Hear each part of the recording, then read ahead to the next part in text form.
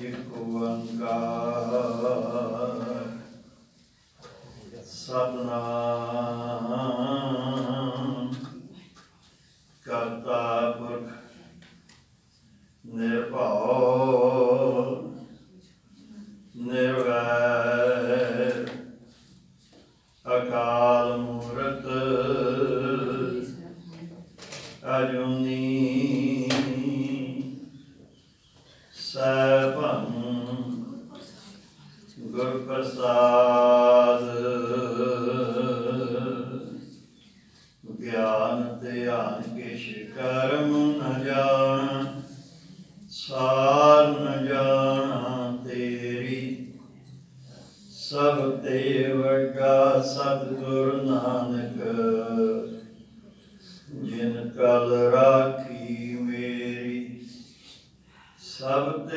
ਤੇ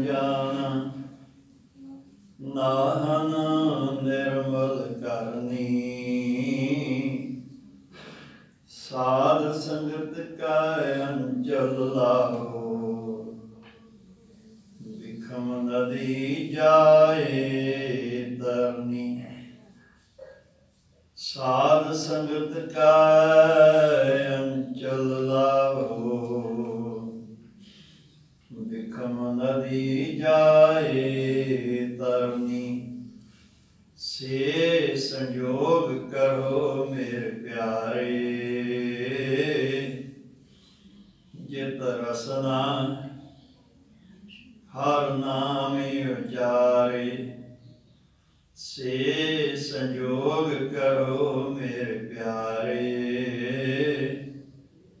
ਜਿਤ ਰਸਨਾ ਹਰ ਨਾਮੇ ਉਚਾਰੇ। ਸਤਨਾਮ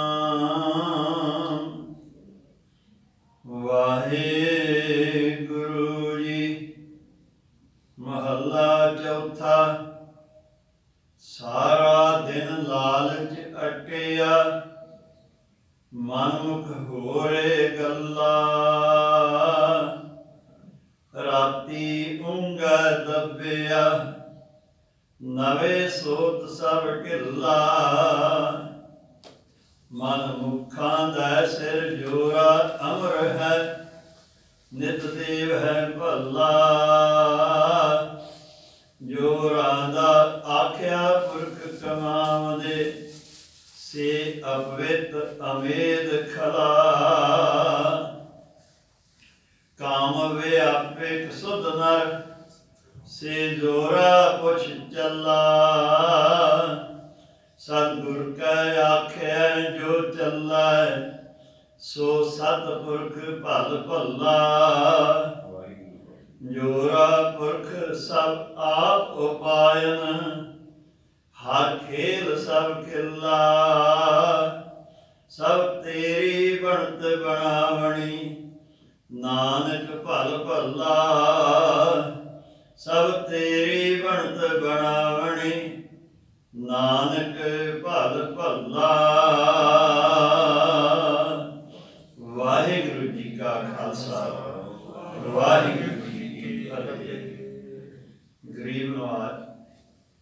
ਤਨ ਤਨ ਸ੍ਰੀ ਗੁਰੂ ਗ੍ਰੰਥ ਸਾਹਿਬ ਜੀ ਦੀ ਪਾਵਨ ਹਜ਼ੂਰੀ ਵਿੱਚ ਸਜੀ ਹੋਈ ਵਡਭਾਗੀ ਸਾਧ ਸੰਗਤ, ਸਤਿਗੁਰੂ ਜੀ ਨੇ ਅਪਾਰ ਬਖਸ਼ਿਸ਼ ਕੀਤੀ ਹੈ। ਇਸ ਭਾਗ ਘੜੀ ਸਤਸੰਗ ਦੀ ਸਾਨੂੰ ਪ੍ਰਾਪਤ ਹੋਈ ਹੈ। ਗੌੜੀ ਰਾਗ ਦੇ ਵਿੱਚ ਗੁਰੂ ਰਾਮਦਾਸ ਪਾਤਸ਼ਾਹ ਦੀ ਵਿਚਾਰੀ ਹੋਈ ਪਾਵਨ ਵਾਰ ਦੀ ਲੜੀਵਾਰ ਵਿਚਾਰ ਅਸੀਂ ਸਰਵਣ ਕਰ ਰਹੇ ਹਾਂ। ਅੱਜ ਇਹ ਆਪਾਂ ਨੌਵੀਂ ਪੌੜੀ ਦੇ ਨਾਲ ਦੂਜਾ ਸ਼ਲੋਕ ਜੋ ਹੈ ਇਸ ਦਾ ਪਾਠ ਸਰਵਣ ਕੀਤਾ ਹੈ। ਕੱਲ ਇਸ ਤੋਂ ਪਹਿਲੇ ਸ਼ਲੋਕ ਦੇ ਵਿੱਚ ਸਤਿਗੁਰੂ ਜੀ ਦਾ ਪਾਵਨ ਉਪਦੇਸ਼ ਅਸੀਂ ਸਰਵਣ ਕਰ ਰਹੇ ਸੀ। ਵਾਹਿਗੁਰੂ ਪਰਮੇਸ਼ਰ ਨੇ ਇਹ ਜੋ ਸੰਸਾਰ ਬਣਾਇਆ ਹੈ, ਇਹ ਮਾਨਵ ਇੱਕ ਖੇਤ ਹੈ। ਇਸ ਸੰਸਾਰ ਵਿੱਚ ਵਿਚਰਦੇ ਹੋਇਆਂ ਇਨਸਾਨ ਜੋ ਕਰਮ ਕਰਦਾ ਹੈ, ਇਹ ਖੇਤੀ ਹੈ। ਖੇਤੀ ਕਰਦਿਆਂ ਹੋਇਆਂ ਕਿਹੋ ਜਿਹਾ ਬੀਜ ਬੀਜਦਾ ਹੈ, ਜਿਹੋ ਜਿਹਾ ਬੀਜ ਬੀਜਦਾ ਹੈ, ਉਹ ਜਿਹਾ ਹੀ ਉਸ ਨੂੰ ਫਲ ਮਿਲਦਾ ਹੈ। ਜਿਹੜੇ ਗੁਰੂ ਦੇ ਸਨਮੁਖ ਰਹਿੰਦੇ ਹਨ, ਗੁਰੂ ਦੇ ਅਨੁਸਾਰ ਹੋ ਕੇ ਚੱਲਦੇ ਹਨ, ਉਹ ਗੁਰੂ ਬਖਸ਼ਿਸ਼ ਦਾ ਬੀਜ ਬੀਜਦੇ ਹਨ। ਨਾਮ ਦਾ ਬੀਜ ਬੀਜਦੇ ਹਨ ਬਖਸ਼ਿਸ਼ ਕੀ ਹੈ? ਗੁਰੂ ਦੁਆਰਾ ਬਖਸ਼ਿਆ ਹੋਇਆ ਨਾਮ। ਉਹ ਨਾਮ ਦਾ ਬੀਜ ਬੀਜਦੇ ਹਨ। ਪਰ ਮਨੁੱਖ ਲੋਕ ਜਿਹੜੇ ਹਨ, ਉਹ ਇਸ ਪਾਸੇ ਨਹੀਂ ਆਉਂਦੇ। ਉਹ ਸੰਸਾਰੀ ਸੁੱਖਾਂ ਦੀ ਖਾਤਰ ਸੰਸਾਰੀ ਧਨ ਦਾ ਹੀ ਬੀਜ ਬੀਜਦੇ ਰਹਿੰਦੇ ਹਨ। ਹੁੰਦਾ ਕੀ ਹੈ ਕਿ ਜਿਹੜੇ ਸਵਾਸ ਮਿਲੇ ਸਨ ਸੰਸਾਰ ਵਿੱਚ ਗੁਜ਼ਾਰਨ ਵਾਸਤੇ, ਇਹ ਚੰਗੇ ਪਾਸੇ ਲਾਏ ਜਾਣ। ਮਨ ਦੀ ਮਤ ਪਿੱਛੇ ਚੱਲਣ ਵਾਲੇ ਲੋਕ ਆਪਣਾ ਸਾਰਾ ਜੀਵਨ ਹੀ ਉਹ ਸੰਸਾਰਕ ਧੰਦਿਆਂ ਵਿੱਚ ਹੀ ਗਵਾ ਦਿੰਦੇ ਹਨ। ਅਖੀਰ ਹੁੰਦਾ ਕੀ ਹੈ? ਇਸ ਖੇਤ ਦੇ ਵਿੱਚ ਜੋ ਵਾਹਿਗੁਰੂ ਪਰਮੇਸ਼ਰ ਨੇ ਸਾਨੂੰ ਬਖਸ਼ਿਆ ਹੈ, ਪਰਮੇਸ਼ਰ ਦੀ ਬਖਸ਼ਿਸ਼ ਦੇ ਨਾਲ ਇਹ ਖੇਤ ਦੇ ਵਿੱਚ ਜਦੋਂ ਫਸਲ ਹੁੰਦੀ ਹੈ, ਤਾਂ ਜਿਹੜਾ ਬੀਜ ਬੀਜਿਆ ਹੈ, ਉਹੀ ਬੀਜ ਉਗਦਾ ਹੈ। ਗੁਰਸਿੱਖ ਲੋਕ ਜੋ ਹਨ, ਗੁਰੂ ਦੇ ਸਨਮੁਖ ਰਹਿਣ ਵਾਲੇ, ਉਹ ਅੰਮ੍ਰਿਤ ਨਾਮ ਦਾ ਬੀਜ ਬੀਜਦੇ ਹਨ। ਜਿਸ ਕਰਕੇ ਉਹਨਾਂ ਦੀ ਫਸਲ ਵੀ ਜੋ ਹੈ, ਅੰਮ੍ਰਿਤ ਨਾਮ ਦੀ ਹੀ ਹੁੰਦੀ ਹੈ। ਔਰ ਇਸ ਨਾਮ ਦਾ ਫਲ ਕੀ ਹੈ? ਇਸ ਨਾਮ ਦਾ ਫਲ ਹੈ ਆਤਮਿਕ ਰਸ, ਆਤਮਿਕ ਆਨੰਦ। ਸਵਾਸ ਤਾਂ ਸਾਰੇ ਹੀ ਇੱਥੇ ਲੈਂਦੇ ਹਨ। ਔਰ ਇੱਥੋਂ ਨਿਭਾ ਕੇ ਚਲੇ ਜਾਂਦੇ ਹਨ। ਕੁਝ ਸਾਰਾ ਜਨਮ ਹੀ, ਸਾਰਾ ਜੀਵਨ ਹੀ ਸੋਚਾਂ ਸੋਚਦੇ ਹੋਏ ਔਰ ਦੁੱਖਾਂ ਦੇ ਵਿੱਚ ਹਾਏ ਹਾਏ ਕਰਦੇ ਹੋਏ ਹੀ ਲਗਾ ਦਿੰਦੇ ਹਨ। ਦੂਸਰੇ ਪਾਸੇ ਜਿਹੜੇ ਗੁਰੂ ਦੇ ਅਨਸਾਰੀ ਹੋ ਕੇ ਚੱਲਦੇ ਹਨ, ਪਰਮੇਸ਼ਰ ਦਾ ਨਾਮ ਜਪਦੇ ਹਨ, ਜਿਨ੍ਹਾਂ ਦਾ ਜੀਵਨ ਹੀ ਜਿਨ੍ਹਾਂ ਦੀ ਜੀਵਨ ਦੀ ਖੁਰਾਕ ਹੀ ਨਾਮ ਬਣ ਜਾਂਦਾ ਹੈ, ਉਹਨਾਂ ਨੂੰ ਆਤਮਿਕ ਰਸ ਦਾ ਫਲ ਮਿਲਦਾ ਹੈ। ਉਹ ਜਿੰਨੇ ਸਵਾਸ ਹਨ ਆਪਣੇ, ਪਰਮੇਸ਼ਰ ਦੇ ਸਿਮਰਨ ਵਿੱਚ ਜੋੜ ਕੇ ਆਨੰਦ ਦੇ ਵਿੱਚ ਲਗਾਉਂਦੇ ਹਨ ਔਰ ਸਦਾ ਹੀ ਆਨੰਦ ਦੇ ਵਿੱਚ ਰਹਿੰਦੇ ਹਨ। ਇਹ ਜੋ ਸੰਸਾਰ ਵਾਹਿਗੁਰੂ ਨੇ ਬਣਾਇਆ ਹੈ, ਇਸ ਦੇ ਵਿੱਚ ਜਮ ਰੂਪੀ, ਮੌਤ ਰੂਪੀ ਚੂਹਾ ਜਿਹੜਾ ਹੈ, ਇਹ ਵੀ ਉਸਨੇ ਹੀ ਪੈਦਾ ਕੀਤਾ ਹੈ। ਇਹ ਸਵਾ- ਸਾਡੇ ਸਵਾਸਾਂ ਦੀ ਰੱਸੀ ਨੂੰ ਨਿੱਤ ਹੀ ਕੱਟਦਾ ਰਹਿੰਦਾ ਹੈ। ਜਿਵੇਂ ਚੂਹੇ ਦਾ ਸੁਭਾਅ ਹੈ, ਉਹ ਜਿਹੜੀ ਚੀਜ਼ ਉਸ ਦੇ ਸਾਹਮਣੇ ਹੁੰਦੀ ਉਸ ਨੂੰ ਕੁਤਰ ਹੀ ਜਾਂਦਾ ਹੈ ਔਰ ਬੇਕਾਰ ਕਰ ਦਿੰਦਾ ਹੈ। ਨਾ ਉਸ ਦੇ ਕੰਮ ਆਉਂਦੀ ਹੈ, ਨਾ ਕਿਸੇ ਦੇ ਕੰਮ ਆਉਂਦੀ ਹੈ। ਇਸੇ ਤਰ੍ਹਾਂ ਹੀ ਜਮ ਜਿਹੜੇ ਹਨ, ਇਹ ਇਸ ਰੱਸੀ ਨੂੰ ਕੁਤਰਦੇ ਰਹਿੰਦੇ ਹਨ। ਬੰਦੇ ਨੂੰ ਪਤਾ ਨਹੀਂ ਲੱਗਦਾ ਹੈ, ਸਮਾਂ ਉਦੋਂ ਆਉਂਦਾ ਹੈ ਜਦੋਂ ਇਹ ਰੱਸੀ ਕੱਟੀ ਜਾਂਦੀ ਹੈ। ਤੇ ਇਹਦੇ ਸਵਾਸ ਜਿਹੜੇ ਹਨ, ਉਹ ਖਤਮ ਹੋ ਜਾਂਦੇ ਹਨ। ਫਿਰ ਇਸ ਨੂੰ ਆਪਣੇ ਕੀਤੇ ਦਾ ਫਲ ਭੁਗਤਣਾ ਪੈਂਦਾ ਹੈ। ਜਿਨ੍ਹਾਂ ਨੇ ਪਰਮੇਸ਼ਰ ਦੇ ਭੈ ਵਿੱਚ ਰਹਿ ਕੇ ਉਸ ਦੇ ਨਾਲ ਪਿਆਰ ਕੀਤਾ, ਉਹਨਾਂ ਨੂੰ ਉਸ ਦੀ ਬਖਸ਼ਿਸ਼ ਦਾ ਬੋਲ ਮਿਲਿਆ। ਜਿਵੇਂ ਕਿਸਾਨ ਫਸਲ ਬੀਜਦਾ ਹੈ ਉਸ ਦੇ ਵਿੱਚ ਜਿਹੜੇ ਦਾਣੇ ਹਨ, ਜਦੋਂ ਇਕੱਠੇ ਕਰਦਾ ਹੈ ਇਸ ਨੂੰ ਬੋੜ ਕਿਹਾ ਜਾਂਦਾ ਹੈ। ਇਹ ਬੋੜ ਕਿਸਾਨ ਜਿਸ ਗੁਰਸਿੱਖ ਰੂਪ ਵਿੱਚ ਕਿਸਾਨ ਨੇ ਵੀ ਬੀਜਿਆ ਉਸ ਨੂੰ ਇਹ ਅੰਮ੍ਰਿਤ ਨਾਮ ਦਾ ਸੇਵਾ ਤੇ ਸਿਮਰਨ ਦਾ ਬੋੜ ਪ੍ਰਾਪਤ ਹੋਇਆ ਜਿਸ ਦਾ ਸਤਿਕਾਰ ਪਰਮੇਸ਼ਰ ਨੇ ਉਸ ਦੇ ਸਾਰੇ ਤਰ੍ਹਾਂ ਦੀਆਂ ਚਿੰਤਾਵਾਂ ਜਿਹੜੇ ਫਿਕਰ ਸਨ ਉਹ ਖਤਮ ਕਰ ਦਿੱਤੇ ਉਹ ਆਪ ਵੀ ਸੰਸਾਰ ਵਿੱਚੋਂ ਆਸਾਨੀ ਦੇ ਨਾਲ ਜੀਵਨ ਬਤਾ ਕੇ ਚੱਲੇਗਾ ਆਨੰਦ ਵਿੱਚ ਰਹੇਗਾ ਤੇ ਜਿਹੜੇ ਉਸਦੇ ਸੰਗੀ ਸਨ, ਉਹਨਾਂ ਦਾ ਵੀ ਪਤਾ ਹੋ ਗਿਆ। ਉਹ ਵੀ ਨਾਮ ਦੇ ਨਾਲ ਜੁੜ ਕੇ ਉਹ ਵੀ ਆਪਣਾ ਜੀਵਨ ਸੌਖਾ ਲਗਾ ਅੱਜ ਗੁਰੂ ਰਾਮਦਾਸ ਪਾਤਸ਼ਾਹ ਇਸ ਪੌੜੀ ਦੇ ਨਾਲ ਜਿਸ ਲੋਕ ਦੀ ਬਖਸ਼ਿਸ਼ ਕਰ ਰਹੇ ਹਨ, ਮਹਲਾ ਚੌਥਾ। ਸਾਰਾ ਦਿਨ ਲਾਲ ਚੱਕਿਆ ਮਨਮੁਖ ਹੋਏ ਗੱਲਾਂ। ਮਨਮੁਖ ਮਨ ਦੀ ਮਤ ਪਿੱਛੇ ਚੱਲਣ ਵਾਲਾ। ਗੁਰਮੁਖ ਗੁਰੂ ਦੀ ਮਤ ਪਿੱਛੇ ਚੱਲਣ ਵਾਲਾ। ਕੋਈ ਕਿਸਮ ਦੇ ਇਨਸਾਨ ਹਨ। ਮਨਮੁਖ ਹੁੰਦਾ ਜਮ ਕੀ ਕਾਣ, ਬਸ ਜੋ ਹੈ ਆਣੇ ਹਨ ਵੇ ਮਾਰਗ ਮੁਸੇ ਮੰਤਰ ਮਸਾ। ਮਨੁੱਖ ਜਿਹੜੇ ਹਨ, ਇਹ ਮੌਤ ਨੂੰ ਭੁੱਲ ਜਾਂਦੇ ਹਨ। ਔਰ ਮੌਤ ਨੂੰ ਭੁੱਲ ਕੇ ਕਿਰਾਏ ਪਏ ਹੋਏ ਅਜਿਹੇ ਕੰਮ ਕਰਦੇ ਹਨ।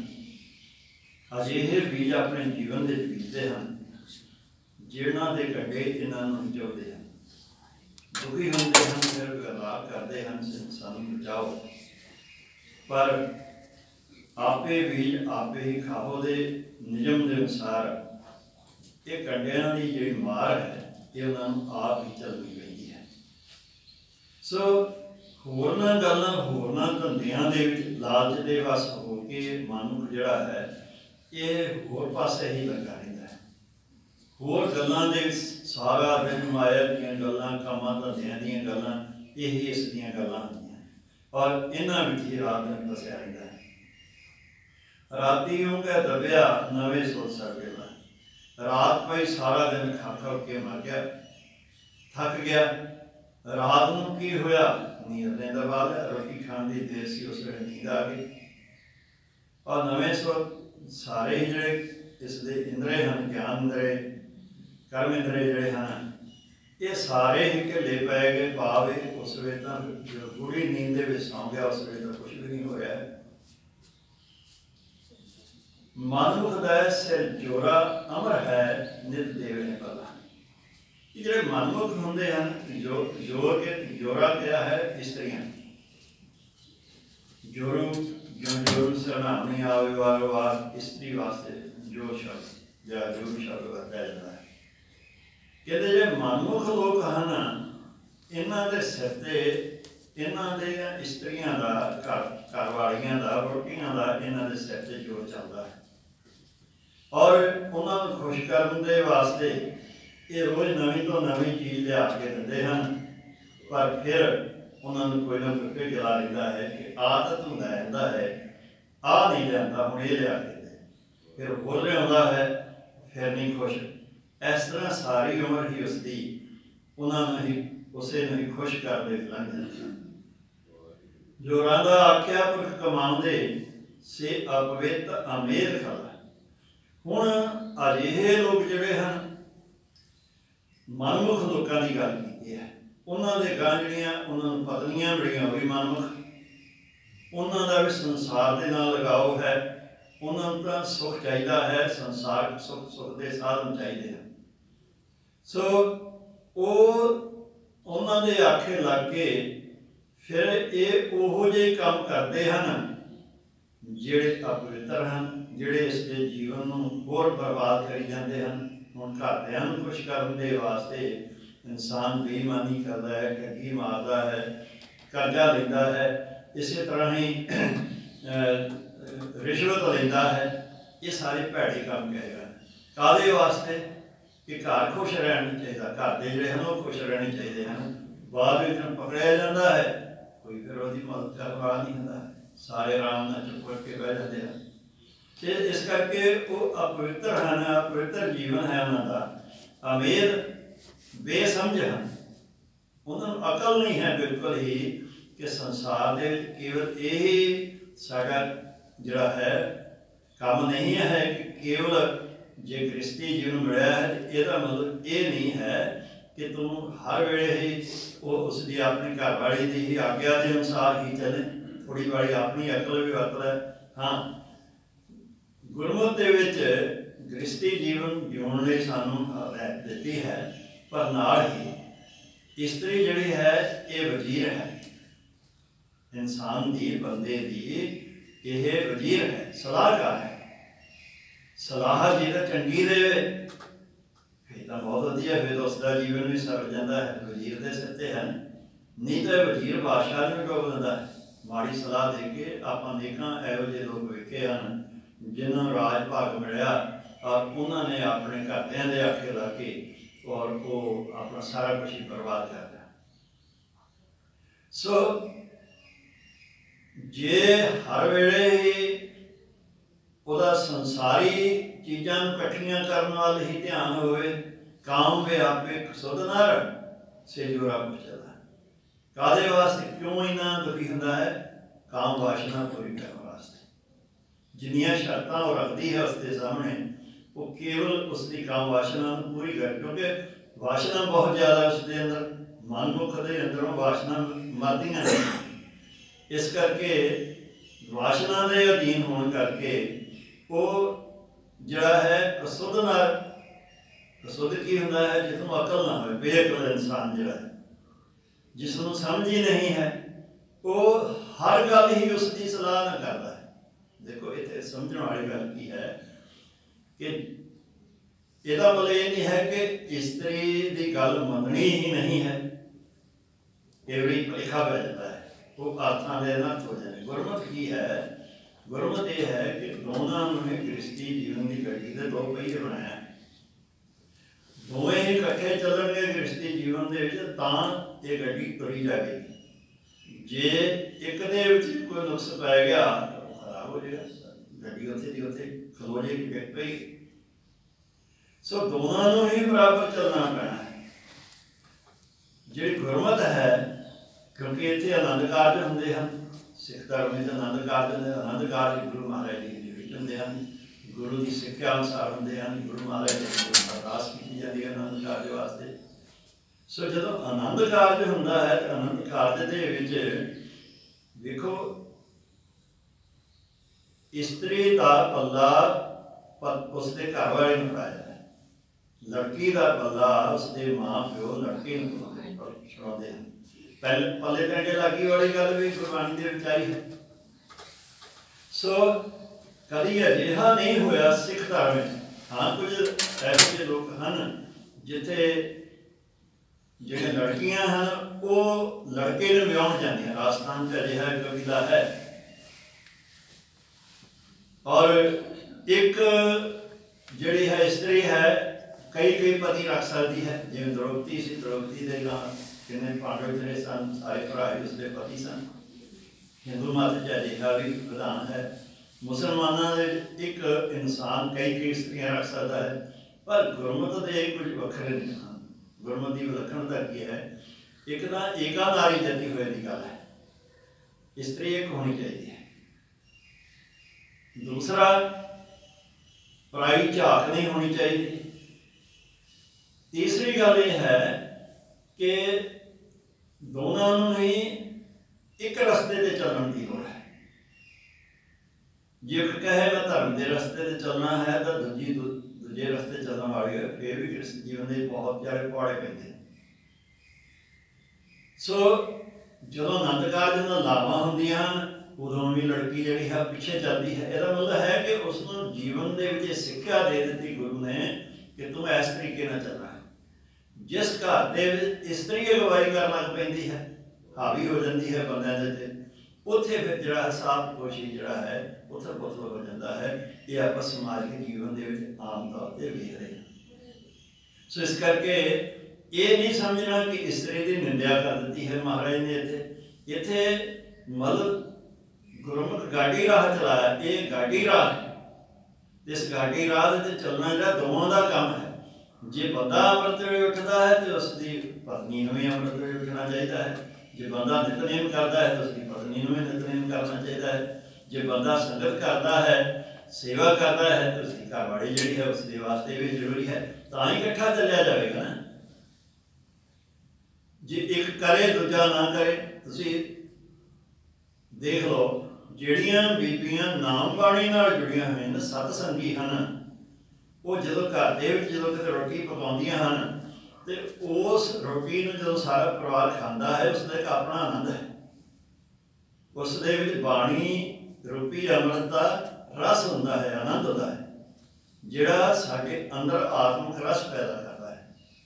ਪਰ ਜੇ ਉਹੀ ਬੀਬੀ ਇੱਕ ਪਾਸੇ ਮੋਬਾਈਲ ਰੱਖਿਆ ਹੋਵੇ ਫੇਸਬੁੱਕ ਚੱਲਦੀ ਹੋਵੇ, YouTube ਚੱਲਦੀ ਹੋਵੇ, ਸੰਸਾਰਿਕ ਚੀਜ਼ਾਂ ਵੇਖਦੀ ਹੋਵੇ, ਤੇ ਨਾਲ ਰੋਟੀਆਂ ਪਕਾਉਂਦੀ ਹੋਵੇ ਜਾਂ ਇੱਕ ਪਾਸੇ ਐਂਟੀਟੀ ਧੌਣ ਕਰਕੇ ਕੰਨਾਂ ਨੂੰ ਮੋਬਾਈਲ ਲਾਇਆ ਹੋਵੇ, ਗੱਲਾਂ ਕਰਦੀ ਹੋਵੇ ਕਿਸੇ ਦੇ ਨਾਲ, ਤੇ ਦੂਜੇ ਬੰਦੇ ਨਾਲ ਰੋਟੀਆਂ ਪਕਾਉਂਦੀ ਹੋਵੇ, ਉਹਦਾ ਅਸਰ ਰੋਟੀ ਦੇ ਉੱਤੇ ਜ਼ਹਿਰ ਵਰਗਾ ਇਹੀ ਕਾਰਨ ਹੈ ਕਿ ਇਸ ਪਾਸਿਓਂ ਜਿਹੜੇ ਬਹੁਤ ਜਿਹੜੇ ਲੋਕ ਹਨ, ਉਹ ਗੁਰੂ ਵਾਲੇ ਪਾਸੇ ਟੁੱਟਦੇ ਜਾਂਦੇ ਹਨ, ਉਹਦਾ ਕਾਰਨ ਇਹ ਹੈ। ਸੋ ਗੁਰਮਤ ਕੀ ਹੈ? ਗੁਰਮਤ ਇਹੀ ਹੈ ਕਿ ਦੋਵਾਂ ਨੇ ਇੱਕ ਗੁਰਮਤ ਦਾ ਮਾਰਗ ਉਹਨਾਂ ਨੂੰ ਮਿਲਿਆ ਹੈ, ਗੁਰਮਤ ਦੇ ਮਾਰਗ ਤੇ ਸਾਰੀ ਜ਼ਿੰਦਗੀ ਆਪਣੀ ਨਿਭਾਉਣੀ ਹੈ। ਔਰ ਇੱਕ ਦੂਜੇ ਤੇ ਵਿਸ਼ਵਾਸ ਰੱਖਣਾ ਹੈ। ਸਭ ਤੋਂ ਵੱਡੀ ਗੱਲ ਵਿਸ਼ਵਾਸ ਹੈ। ਸਮਰਪਣ ਇੱਕ ਦੂਜੇ ਨੂੰ ਸਮਰਪਣ ਹੈ। ਜਿਹੜਾ ਕੰਮ ਗੁਰੂ ਦੀ ਹਜ਼ੂਰੀ ਵਿੱਚ ਹੁੰਦਾ ਉਹ ਸਮਰਪਣ। ਗੁਰੂ ਸਮਰਪਣ ਮੰਗਦਾ। ਦੋਵਾਂ ਨੇ ਜਦੋਂ ਗੁਰੂ ਨੂੰ ਸਮਰਪਣ ਕਰ ਦਿੱਤਾ ਆਪਣਾ ਆਪ ਇਹਦਾ ਮਤਲਬ ਵੀ ਦੋਵੇਂ ਹੀ ਗੁਰੂ ਦੇ ਬਣ ਗਏ।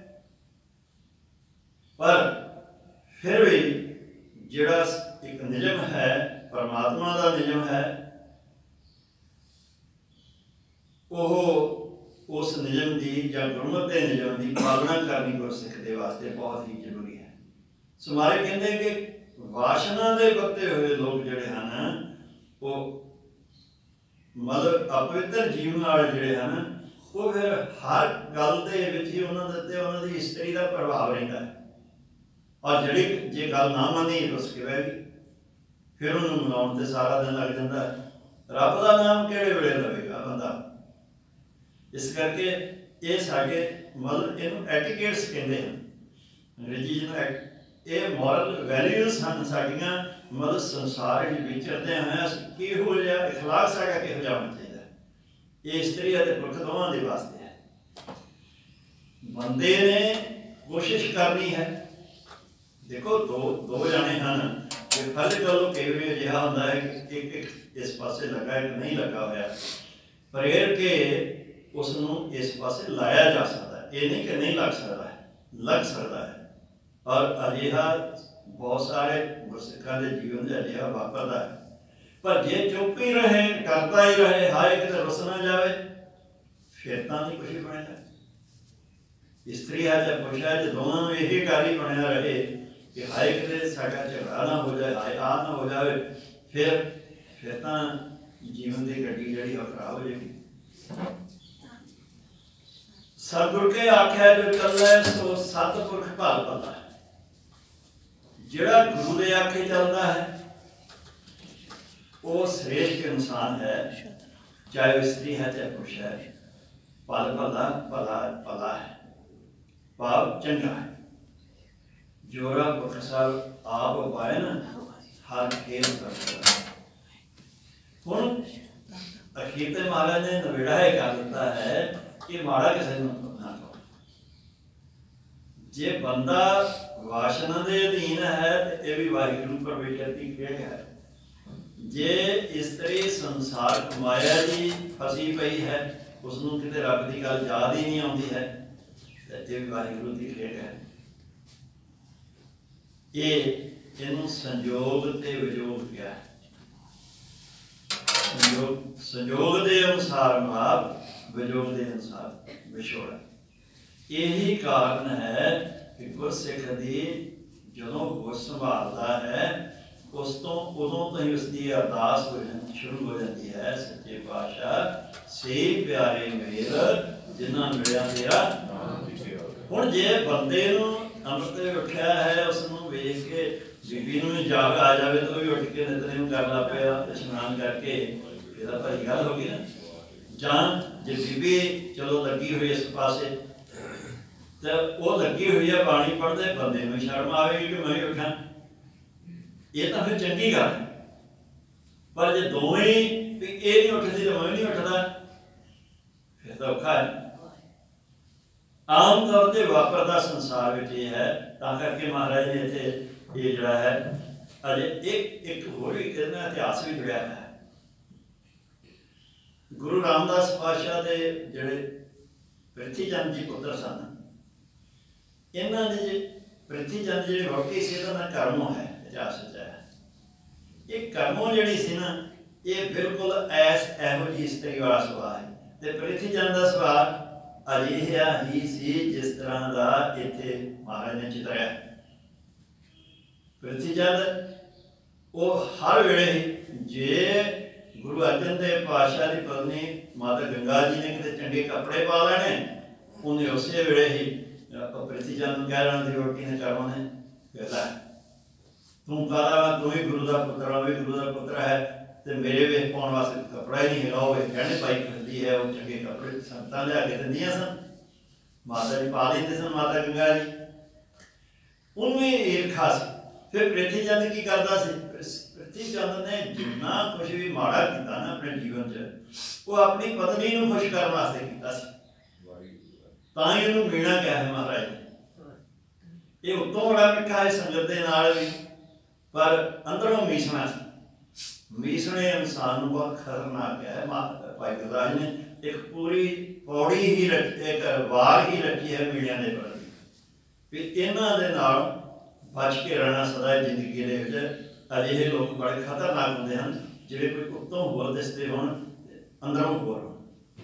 ਪਛਾਣ ਹੋ ਜਾਂਦੀ ਹੈ।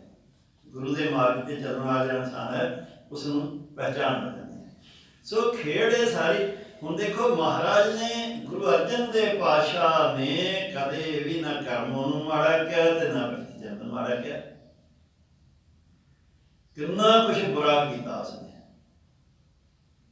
ਸਾਰੇ ਪਾਸੇ ਨਾਕਾਬੰਦੀ ਕਰਕੇ ਗੁਰੂ ਅਰਜਨ ਦੇ ਪਾਤਸ਼ਾਹ ਦੇ ਕੋਲ ਸੰਗਤ ਨੂੰ ਆਉਣ ਤੋਂ ਰੋਕ ਦਿੱਤਾ, ਆਪਣੇ ਮਸੰਦਾਂ ਦੇ ਰਾਹੀਂ। ਗੁਰੂ ਘਰ ਦਾ ਲੰਗਰ ਵੀ ਜਾਓ ਵੀ ਮਸਤ ਹੋ ਗਿਆ। ਕਈ ਵਾਰੀ ਭੁੱਖੇ ਸੌਣਾ ਪੈਂਦਾ ਸੀ ਸਾਰਿਆਂ ਨੇ। ਇਹ ਹਾਲਤ ਹੋ ਗਈ। ਫਿਰ ਕਿੰਨੀ ਈਰਖਾ ਕੀਤੀ। ਗੁਰੂ ਹਰਗੋਬਿੰਦ ਸਾਹਿਬ ਜੀ ਦਾ ਪ੍ਰਕਾਸ਼ ਹੋਇਆ ਤੇ ਉਹ ਜਦੋਂ ਗੁਰੂ ਹਰਗੋਬਿੰਦ ਸਾਹਿਬ ਜੀ ਦਾ ਪ੍ਰਕਾਸ਼ ਹੋਇਆ, ਉਹਨੂੰ ਉਸੇ ਵੇਲੇ ਅੱਗ ਲੱਗੀ ਦੋਵਾਂ ਜਣਿਆਂ ਨੇ।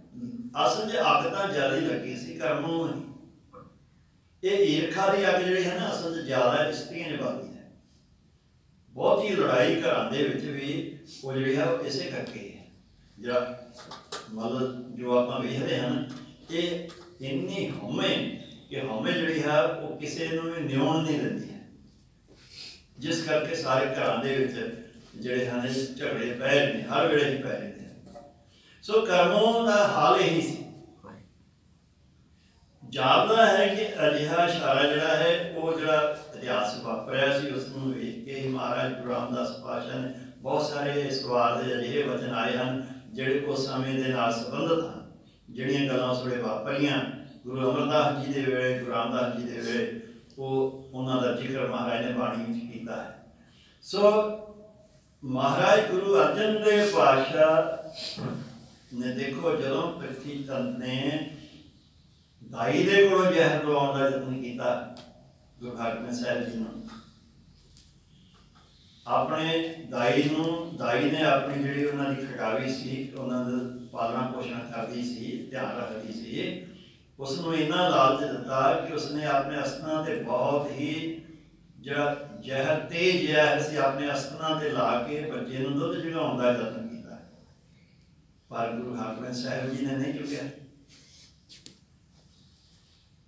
ਪੂਰਾ ਪਰ ਹੋਇਆ ਕਿ? ਜ਼ਹਿਰ ਦਾ ਅਸਰ ਉਸੇ ਦਾਈ ਦੇ ਉੱਤੇ ਹੋ ਗਿਆ, ਉਹਦੀ ਮੌਤ ਹੋ ਗਈ। ਸੋ ਇਸੇ ਹੀ ਤਰ੍ਹਾਂ ਬ੍ਰਾਹਮਣ ਸੀ ਗੁਰੂ ਘਰ ਦੇ ਵਿੱਚ ਸੇਵਾ ਕਰਦਾ ਹੁੰਦਾ ਸੀ ਉਸ ਨੂੰ ਲਾਲਚ ਦਿੱਤਾ। ਉਹਨੇ ਦਹੀਂ ਵਿੱਚ ਜ਼ਹਿਰ ਪਾ ਕੇ ਬੱਚੇ ਨੂੰ ਖਵਾਉਣ ਦਾ ਯਤਨ ਕੀਤਾ। ਪਰ ਬਾਲਕ ਚੀਕਾਂ ਮਾਰਦਾ ਪਿਆ, ਨਹੀਂ ਖਾਦਾ ਗੁਰੂ ਘਰ ਵਿੱਚ ਛੋਟੀ ਉਮਰ ਦੇ ਸਨ। ਰੋਏ ਮਾਤਾ ਨੇ ਭੱਜ ਕੇ ਫੜਿਆ, ਕਹਿੰਦੇ, ਕੀ ਗੱਲ ਹੋ ਗਈ? ਗੰਗੂ ਬਾਹਮਣ ਕਹਿਣ ਲੱਗਾ ਕਿ ਮੈਂ ਦਹੀਂ ਖਵਾ ਰਿਹਾ ਸੀ, ਦਹੀਂ ਨਹੀਂ ਖਾਂਦਾ ਕਹਿੰਦੇ, ਰਹਿਣ ਤੇ ਕੋਈ ਗੱਲ ਨਹੀਂ। ਪਿਆਰ ਰਹਿਣ ਤੇ ਹਾਲੀ ਜਦੋਂ ਭੁੱਖ ਲੱਗੇਗੀ, ਆਪੇ ਖਵਾ ਦਾਂਗੀ ਮੈਂ। ਦਹੀਂ ਰੱਖਿਆ, ਦੁਬਾਰਾ ਮਾਤਾ ਖਵਾਉਣ ਲੱਗੀ। ਨਹੀਂ ਬੱਚੇ ਨੇ ਖਾਦਾ ਬੇਜੀ ਕਾ ਮਾਰਨਾ ਪਿਆ ਫਿਰ ਮਾਤਾ ਨੇ ਉਹੀ ਦਹੀਂ ਉੱਥੇ ਕੁੱਤਾ ਸੀ ਘਰ ਦੇ ਵਿੱਚ, ਕੁੱਤੇ ਨੂੰ ਪਾਇਆ। ਕੁੱਤਾ ਤੜਫਦਾ ਹੋਇਆ ਸਾਰਿਆਂ ਦੇ ਸਾਹਮਣੇ ਮਰ ਗਿਆ। ਪਤਾ ਲੱਗ ਗਿਆ ਕਿ ਇਸ ਦਹੀਂ ਦੇ ਵਿੱਚ ਜ਼ਹਿਰ ਪਾਇਆ ਹੋਇਆ ਬ੍ਰਾਹਮਣ ਨੇ ਲਾਲਚ ਵਿੱਚ ਆ ਕੇ। ਇਹ ਵੀ ਯਤਨ ਕੀਤਾ। ਫਿਰ ਇੱਕ ਸਪੇਰੇ ਦੇ ਕੋਲੋਂ ਸੱਪ ਛਕਾਇਆ, ਕਿ ਬਾਜ਼ੂ ਨੂੰ ਗੰਗੇਗਾ ਬਹੁਤ ਜ਼ਹਿਰੀਲਾ ਨਾਗ ਸੀ। ਉਸ ਨਾਗ ਨੇ ਵੀ ਬੱਚੇ ਨੂੰ ਕੁਝ ਨਹੀਂ ਕਿਹਾ। ਹੁਣ ਅਜਿਹੀਆਂ ਗੱਲਾਂ ਵਾਪਰੀਆਂ, ਇਹ ਸਾਰਾ ਕੁਝ ਹੋਣ ਦੇ ਬਾਵਜੂਦ ਵੀ ਗੁਰੂ ਅਰਜਨ ਦੇਵ ਪਾਤਸ਼ਾਹ ਨੇ ਬਿਲਕੁਲ ਨਾ ਕਰਮਾਂ ਨੂੰ ਨਾ ਪ੍ਰਿਤਿਆਂ ਬਿਲਕੁਲ ਬਰਾਬਰ ਨਹੀਂ ਕਿਹਾ ਇਹ ਜਿਹੜੀ ਗੱਲ ਇੱਥੇ ਕਹੀ ਨਾ ਮਹਾਰਾਜ ਨੇ ਕਿ ਇਹ ਜੋਰਾਪੁਰ ਸਭ ਆਪ ਪਾਇਨ ਸਭ ਖੇਲ ਸਭ ਖੇਲਾ ਇਹ ਤਾਂ ਵਾਹਿਗੁਰੂ ਪਰਮੇਸ਼ਰ ਦਾ ਖੇਲ ਹੈ। ਇਤਿਹਾਸ ਕਿਵੇਂ ਬਣਦਾ, ਜੇ ਕਰਮੋਂ ਪ੍ਰਿਥੀ ਜਾਂਦਾ, ਇਹੋ ਜਿਹੇ ਨਾ ਹੁੰਦੇ ਤਾਂ ਦੂਜੇ ਬੰਦੇ ਗੁਰੂ ਅਰਜਨ ਦੇਵ ਪਾਤਸ਼ਾਹ ਦੀ ਨਿਮਰਤਾ ਤੇ ਰੱਬ ਨਾਲ ਪਿਆਰ, ਰੱਬ ਤੇ ਭਰੋਸਾ, ਇਤਿਹਾਸ ਤਾਂ ਹੀ ਬਣਦਾ ਹੈ ਨਾ, ਜਦੋਂ ਦੋ ਪਾਤਰ ਹੁੰਦੇ ਹਨ। ਸਭ ਤੇਰੀ ਬੰਤ ਬਣਾਉਣੀ ਨਾਨਕ ਪਰਪਦਾ ਸੱਚੇ ਪਾਤਸ਼ਾਹ ਸਾਰੀਆਂ ਖੇਡਾਂ ਤੇਰੀਆਂ ਹਨ। ਇਹਦਾ ਮਤਲਬ ਇਹ ਨਹੀਂ ਹੈ, ਮਤਲਬ ਗੱਲ ਨੂੰ ਸਮਝਣਾ, ਕਿ ਜੇ ਕਿਸੇ ਘਰ ਦੇ ਵਿੱਚ ਠੀਕ ਠਾਕ ਸਭ ਕੁਝ ਚੱਲਦਾ ਹੈ, ਦੋਨੋਂ ਹੀ ਦੀ ਰਹਿ ਰਲ ਜਾਂਦੀ ਹੈ ਆਪਸ ਪ੍ਰੇਮ ਦੇ ਨਾਲ ਰਹਿੰਦੇ ਹਨ ਔਰ ਜੀਵਨ ਦੀ ਜਿਹੜੀ ਗ੍ਰਸਤੀ ਜੀਵਨ ਦੀ ਘਟੀ ਹੈ, ਉਹ ਬੜੇ ਸੰਤੁਲਨ ਦੇ ਵਿੱਚ ਚੱਲ ਰਹੀ ਹੈ। ਆਪਸ ਵਿੱਚ ਪ੍ਰੇਮ ਹੈ, ਬਹੁਤ ਸਾਰੇ ਘਰਾਂ 'ਚ ਹੈ ਅਜਿਹਾ, ਅਖੀਰਲੇ ਸਵਾਸਾਂ ਤੱਕ ਨਿਭ ਜਾਂਦਾ ਸੋ ਇਹ ਵਾਹਿਗੁਰੂ ਪਰਮੇਸ਼ਰ ਦੀ ਬਣਾਈ ਹੋਈ ਖੇਡ ਹੈ, ਉਹ ਉਹਨਾਂ ਦੇ ਉਹਨਾਂ ਦੇ ਚੰਗੇ ਕਰਮਾਂ ਦਾ ਫਲ ਵਾਹਿਗੁਰੂ ਪਰਮੇਸ਼ਰ ਨੇ ਉਹਨਾਂ ਨੂੰ ਇਹ ਇਸ ਤਰ੍ਹਾਂ ਦਾ ਆਸ ਪ੍ਰੇਮ ਕਰ ਬਖਸ਼ਿਆ ਹੈ, ਇੱਕ ਦੂਜੇ ਸਤਿਕਾਰ ਕਰਦੇ ਹਨ ਇੱਕ ਦੂਜੇ ਦੀ ਗੱਲ ਨੂੰ ਬਰਦਾਸ਼ਤ ਕਰਦੇ ਹਨ ਨਹੀਂ ਤਾਂ ਬਹੁਤੇ ਥਾਂ ਤੇ ਇਹੀ ਹੁੰਦਾ ਹੈ, ਇੱਕ ਦੂਜੇ ਦੀ ਗੱਲ ਨੂੰ ਬਰਦਾਸ਼ਤ ਹੀ ਨਹੀਂ ਕਰਦੇ। ਸੋ ਇਹ ਸਾਰੀ ਖੇਡ ਵਾਹਿਗੁਰੂ ਪਰਮੇਸ਼ਰ ਦੀ ਬਣਾਈ ਹੋਈ ਹੈ ਤੇ ਮਹਾਰਾਜ ਕਹਿੰਦੇ ਪਲ ਪਲਾਸ ਇਹ ਸਾਥ ਇਹ ਮਾੜਾ ਨਹੀਂ ਕਿਹਾ ਜਾ ਸਕਦਾ। ਦੂਸਰੇ ਪਾਸੇ ਜਿਹੜੀ ਪ੍ਰਤੀਜਨ ਵਾਲੀ ਖੇਡ ਹੈ, ਸੰਸਾਰ ਦੇ ਵਿੱਚ, ਉਹ ਇੱਕ ਪਾਸੇ ਗੁਰੂ ਅਰਜਨ ਦੇਵ ਜੀ, ਮਾਤਾ ਗੰਗਾ ਜੀ, ਦੂਜੇ ਬੰਨੇ ਚੰਦ ਤੇ ਉਹਦੀ ਵਰਤੀ ਕਰਮ ਇਹ ਦੋ ਉਦਾਹਰਨਾਂ ਹਨ, ਦੋਵੇਂ ਕਿਸਮ ਦੇ ਪਾਤਰ ਹਨ। ਇੱਕ ਦਾ ਗੁਰੂ ਤੇ ਭਰੋਸਾ, ਇੱਕ ਜਿਹੜਾ ਬੁਰਾ ਹੀ ਸੋਚਦਾ ਰਹਿੰਦਾ ਹੈ ਇਸਤਰੀ ਦੇ ਆਖੇ ਲੱਗ ਕੇ ਹਰ ਵੇਲੇ ਹੀ ਬੁਰਾ, ਹਰ ਵੇਲੇ ਹੀ ਬੁਰਾ। ਸੋ ਅਖੀਰ ਤੇ ਨਿਰਣਾ ਮਹਾਰਾਜ ਨੇ ਦਿੱਤਾ ਹੈ ਕਿ ਜਿਹੜੇ ਜਿਨ੍ਹਾਂ ਦੇ ਤੇ ਕਿਰਪਾ ਹੈ ਜਿਹੜਾ ਦੇ ਘਰਾਂ ਦੇ ਵਿੱਚ ਸੁਖ ਸ਼ਾਂਤੀ ਹੈ, ਠੀਕ ਠਾਕ ਚੱਲਦਾ ਹੈ, ਉਹਨਾਂ ਦੇ ਮਨ ਦੇ ਵਿੱਚ ਕਿਤੇ ਹੰਕਾਰ ਨਾ ਆ ਜਾਵੇ ਕਿ ਅਸੀਂ ਬਹੁਤੇ ਚੰਗੇ ਹਾਂ। ਦੂਜਿਆਂ ਨੂੰ ਦੇਖ ਕਿ ਸਾ- ਅਸੀਂ ਤਾਂ ਬਹੁਤ ਚੰਗੇ ਹਾਂ। ਦੂਜਿਆਂ ਨੂੰ ਉਹ ਕਹਿਣ ਲੱਗ ਜੀ ਇਹਨਾਂ ਦਾ ਤਾਂ ਮੰਦਾ ਹਾਲ ਹੈ ਇਹਨਾਂ ਦੇ ਘਰ ਤੇ ਰੋਜ਼ ਹੀ ਲੜਾਈ ਰਹਿੰਦੀ ਹੈ। ਇਹ ਗੁਰਸਿੱਖ ਦੀ ਇਹ ਸੋਚ ਨਹੀਂ ਹੋਣੀ। ਉਹਨੂੰ ਗੁਰੂ ਦਾ ਸ਼ੁਕਰਾਨਾ ਕਰਨਾ ਚਾਹੀਦਾ ਸੱਚੇ ਪਾਤਸ਼ਾਹ ਇਹ ਤੇਰੀ ਰਹਿਮਤ ਹੈ, ਤੂੰ ਸਾਡੇ ਤੇ ਹੋਰ ਕਿਰਪਾ ਕਰ। ਇਹ ਅਖੀਰ ਤੱਕ ਚੰਗੇ ਤਰੀਕੇ ਨਾਲ ਨਿਭ ਜਾ। ਗੁਰੂ ਦੇ ਚਰਨਾਂ ਅਰਦਾਸ ਕਰਨੀ ਚਾਹੀਦੀ ਹੈ ਕਿ ਸੱਚੇ ਪਾਤਸ਼ਾਹ ਜਿਨੇ ਸਵਾਸ ਹਨ, ਇਹ ਆਸੀ ਪ੍ਰੇਮ ਪਿਆਰ ਦੇ ਨਾਲ ਨਿਭ ਜਾਣ। ਦੋਨਾਂ ਨੂੰ ਹੀ ਕਰਨੀ ਚਾਹੀਦੀ ਹੈ। ਇੱਕ ਨਹੀਂ, ਇੱਕ ਇੱਕ ਨੂੰ। ਦੋਨਾਂ ਨੂੰ ਹੀ ਅਰਦਾਸ ਕਰਨੀ ਚਾਹੀਦੀ ਹੈ। ਸਤਿਗੁਰੂ ਜੀ ਕਿਰਪਾ ਕਰਨ, ਜੋ ਪਾਵਨ ਉਦੇਸ਼ ਆਪਾਂ ਇਸ ਲੋਕ ਦੇ ਰਾਹੀਂ ਸਰਵਣ ਕੀਤਾ ਹੈ ਸਾਡੇ ਹਿਰਦੇ ਵਿੱਚ ਵਸੇ। ਭੁੱਲਾਂ ਚੁੱਕਾਂ ਦੀ ਖਿਮਾ ਵਾਹਿਗੁਰੂ ਜੀ ਕਾ ਖਾਲਸਾ। ਵਾਹਿਗੁਰੂ ਜੀ ਕੀ ਫਤਿਹ।